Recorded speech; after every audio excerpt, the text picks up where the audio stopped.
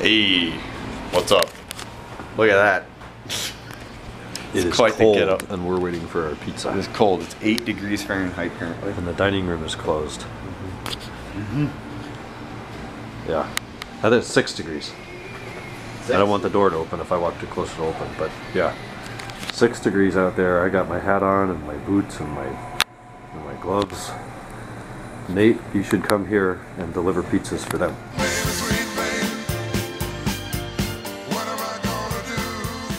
We came back with our pizza. We ate that. We hung out a little bit. Megan was sleeping. She's tired. She went home. Uh, Ken and I watched some Office, and now it's very late. Uh, not not very late, but it's late. It's 12:52, and it's extremely cold again. We're looking at about uh, five degrees. Feels like negative four.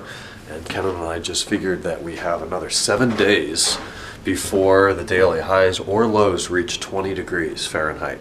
So I don't know, convert that to Celsius, 32 is zero. So like negative five, negative 10, something like that. It's really, really unpleasant. And like we said at the end of the Christmas vlog, people that haven't been in it before um, think it looks pretty and from a distance, yeah, well, it, it does look pretty.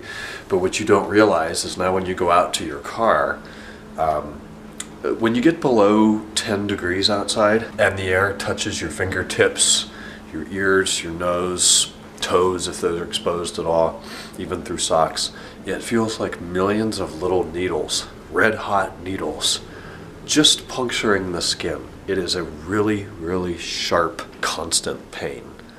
And it only gets worse for every every 10 seconds you stand out there, it is worse. And you inhale that freezing cold air and you feel your entire chest contract.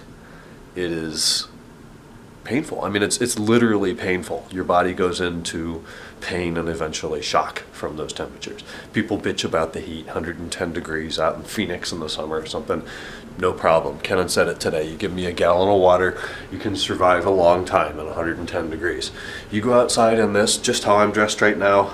I'm even wearing slippers. Slippers, long pants, and a shirt. Within an hour, I'd probably lose my life outside with as much water as I wanted.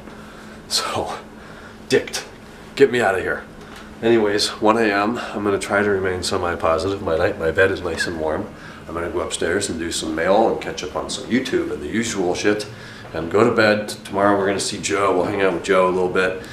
And uh, that's about all I know for Thursday. So we'll talk then. Good night.